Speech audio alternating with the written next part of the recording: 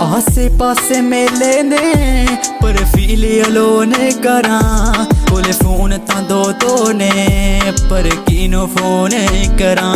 ਸਭ ਕੁਝ ਤਾਂ ਹੋ ਗਿਆ ਏ, ਤੈਨੂੰ ਕੀ ਨਹੀਂ ਲੱਗਦਾ?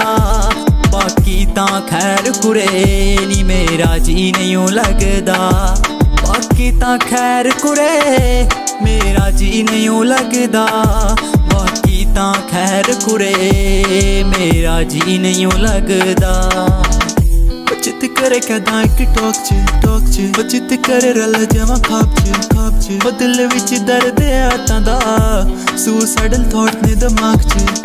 ਬਚਤ ਨਾ ਕੋਈ ਕਰਦਾ ਬੁਲਾਉਣ ਨੂੰ। ਹਾਂ, ਚਿੱਤ ਨਹੀਂ ਉਹ ਕਰਦਾ ਜੀਉਣ ਨੂੰ। ਹਾਂ, ਜ਼ਿੰਦਗੀ ਚੰਗੀ ਨਹੀਂ ਉਹ ਲੱਗਦੀ। ਪਤਾ ਨਹੀਂ ਕਿ ਚੱਲੇ ਅਖਲਾਕ ਚ। ਤੂੰ ਦਿਲ ਦੇ ਨੇੜੇ ਐ ਤਾਂ ਦੱਸਦਾ ਰਹਿਣਾ ਆ। ਕੋਈ ਵੀਕ ਨਾ ਸਮਝ ਲਵੇ, ਤਾਂ ਹੱਸਦਾ ਰਹਿਣਾ ਆ। ਸਭ ਇੰਨਾ ਜ਼ਿਆਦੇ ਐ ਪੋਰਾ ਵੀ ਨਹੀਂ ਉਹ ਲੱਗਦਾ।